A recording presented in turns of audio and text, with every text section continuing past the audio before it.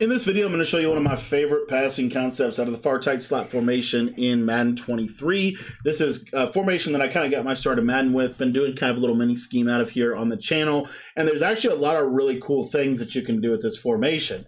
Now, I'm going to show you a concept today that has kind of become popular in Madden uh, 23. It's really, I think, one of the hallmark concepts of Madden 23. To do this, we're going to be utilizing the play flats. And again, if you want to uh, join, or I'm sorry, if you want to uh, get this playbook, it's out of the West Coast playbook. Okay, so the play is flats. Now, generally speaking, we want to have our twins or our little two receiver side to the short side of the field. Okay, that's generally speaking how we want to run it. So if we're on the right hash for whatever reason, we can just simply flip the play and um, you know, and it will work just fine. Okay, but what we're going to introduce you to, to, to, you today is a motion over that is really cool out of this formation. It's kind of unique. So what you'll see here is if I motion this receiver across the formation, he's going to go all the way to the outside of the formation. Okay, so if you wanted to, you could kind of snap throw. Um, I actually think not too bad of a setup would be something like this and uh, kind of using this motion over here, you'll see it kind of creates that slant post with that seam wheel, and then you also have um, you know the the slant on the back side. So some cool stuff you can do with far tight slot. I think the possibilities are really endless um, in terms of what you can do from motion over. But the other thing that's really interesting is if I motion this guy to the right side, you're going to see that he is going to go into a different position he's actually going to basically be like a, almost like a tight doubles uh, style of alignment. So then what we're going to do with this is we're going to kind of create a makeshift double corner concept. And so the way you're going to do this is you have a big corner that's going to clear out zones, which in this case is going to be this deep corner route to Randy Moss. And then we're going to have our tight end running a short corner route. And then last but not least, on the back end of this, we can kind of do something like this, which this is one of my favorite little setups, the little trail concept out of the backfield uh, alongside with this little drag. And so what you'll see is if they run man coverage, one of these corners is going to be pretty effective at being able to beat man-to-man coverage. Now, the big, the real cool piece of this is what this can do if they're going to run zone. So, like an example, of a, of a zone that's probably the hardest zone to, to beat uh, with this formation is going to be that cover four drop, baseline press, and trying to flood to the right side of the screen.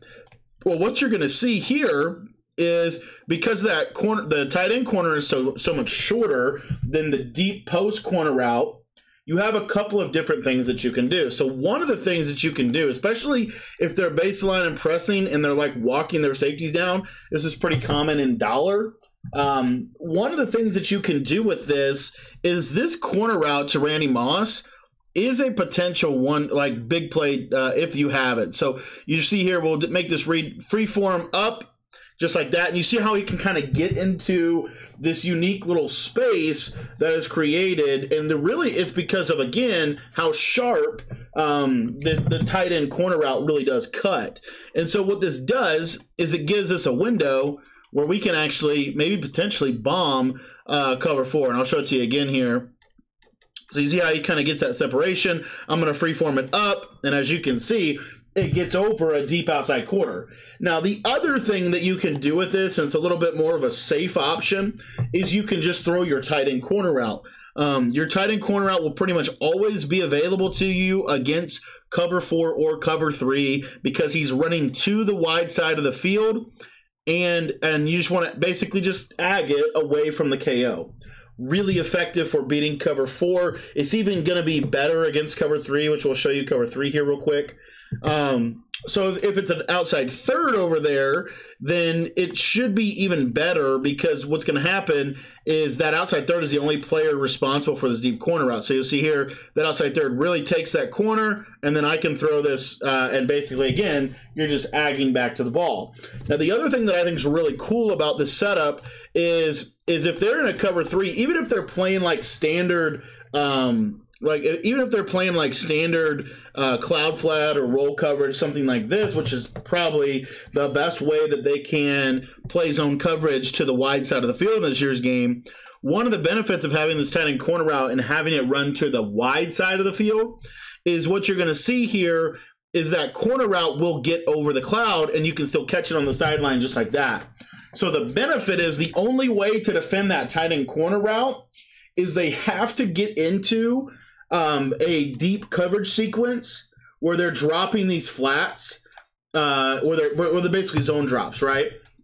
So um, what makes this so neat is you're going to see here that now I've got a 30 yard cloud out of a cover two. Okay. So I've got a 30 yard cloud out of a cover two. And then I've got, again, like I said, standard, you know, Mabel concept. And now they're going to be rolling this direction. The problem with them rolling this direction is we can flood the left side of the screen pretty much all day. We can throw in the middle of the field all day long. But the other thing that we can do is we can really take advantage of freeform, where we're going to freeform this up and over and try to get that that um, that guy open on that deep corner. So if they're starting, if you're starting to notice that they're going to this cloud coverage, what I would recommend doing is really this. Um, which is to now we're going to take that tight end, we're going to put him on a streak, so he's going to clear out the deep half and then everything else is pretty much going to stay the same. So everything else is pretty much the same. Um, but now we have a streak that's going to clear out the deep half. And now we're going to burn that deep double Mabel coverage over the top for a big play.